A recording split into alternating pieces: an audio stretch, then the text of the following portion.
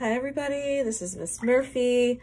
Um, I am going on to the next step for your final personal mantra design. So I am going to do a watercolor wash demonstration just in case you decide that you would like to apply a watercolor wash before adding your fonts and your text onto your final paper. So you were given watercolors in your packet of art materials. What you will need is a brush, you will need water, and your fabulous watercolors.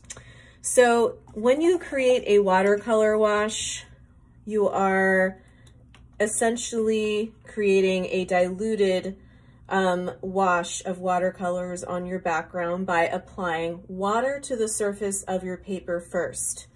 So what you want to do is first take time, sorry I had a little bit of paint on there, to wet your paper is your first step. And then your next step is to pick your color of choice and I am picking the green color here, and then I'm going to apply it to the top just like so. Now you could, you could incorporate more than one color, but as you can see, it's diluting the watercolor. And as I keep going, it's kind of light, but I apply water to the paper first then I apply my paint. And I don't want my watercolor to necessarily touch the edge. So I'm gonna leave a little bit of an edge as well. And I can always go back in and make it a little bit darker if I want to. I can even, so I just want my edges to be seen. I'm actually gonna add one more color in here, which is my turquoise blue color here. And sometimes I like to blend colors to create a little more transition or variety on my paper.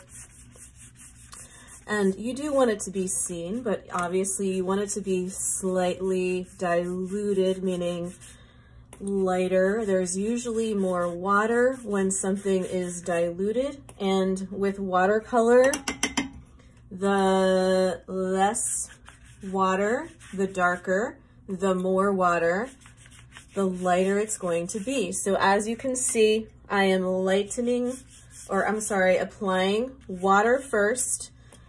Don't overdo it with the water.